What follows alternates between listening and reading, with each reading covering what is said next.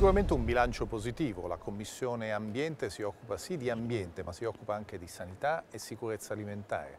In campo ambientale abbiamo fatto tanto nel campo delle politiche di lotta al cambiamento climatico, sul mercato dell'anidride carbonica, ma soprattutto per far sì che i nostri cittadini vivano questo secolo nel nostro continente a livello mondiale con un limitato innalzamento delle temperature. Ci sono tanti temi ambientali che abbiamo poi seguito, ci sono temi legati al mercato della CO2 che riguarda le emissioni delle industrie, ci sono temi legati all'energia da fonti rinnovabili, ci sono temi che invece eh, abbiamo in uh, lavorazione e che sicuramente ci daranno possibilità a breve di raggiungere gli accordi.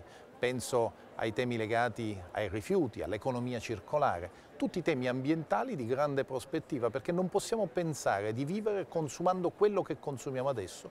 Abbiamo la necessità, una forte necessità di guardare al futuro cercando di riutilizzare tutto ciò che è possibile riutilizzare. Oggi l'economia è lineare, questo significa che utilizziamo materie prime, le trasformiamo, poi diventano rifiuti dopo l'uso e diventano anche degli scarti che non sappiamo come eh, gestire.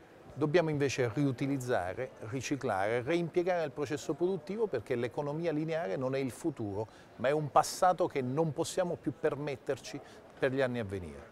Abbiamo lavorato sulle grandi sfide della sanità, e ci stiamo lavorando. Abbiamo affrontato l'emergenza dell'Ebola che è stata un'emergenza importante dove l'Unione Europea è stato il primo soggetto in termini di aiuti concreti e di supporto umanitario. Abbiamo lavorato sulla sicurezza alimentare perché vogliamo che i nostri cittadini europei abbiano un quadro di certezze e non vadano incontro a alcune problematicità. Abbiamo deciso di lasciare agli Stati membri la possibilità di scegliere se coltivare o meno gli organismi geneticamente modificati, ma soprattutto abbiamo vietato che la carne clonata arrivasse nei piatti.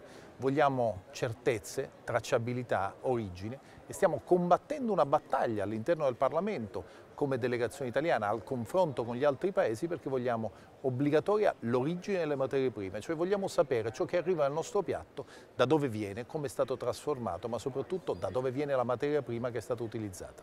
Dobbiamo per esempio dare da mangiare a 9 miliardi di persone da qua al 2050. Come vogliamo farlo? Producendo di più ma con meno risorse disponibili. È una sfida della tecnologia, è la sfida del futuro e questa sfida la combatteremo anche nel Parlamento europeo. Dall'altro lato dobbiamo dare garanzie.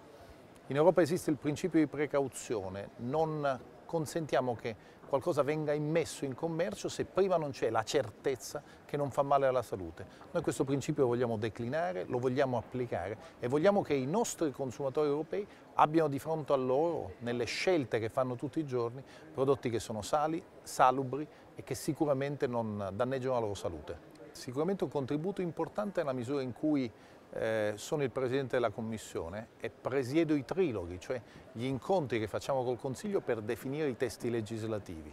Abbiamo fatto grandi risultati per il nostro Paese, penso alla legislazione sui sacchetti di plastica che è sicuramente la più avveniristica sul piano mondiale, oppure alla legislazione sui biocarburanti e sulle energie rinnovabili che sicuramente pone l'Italia in una condizione di vantaggio nel contesto europeo.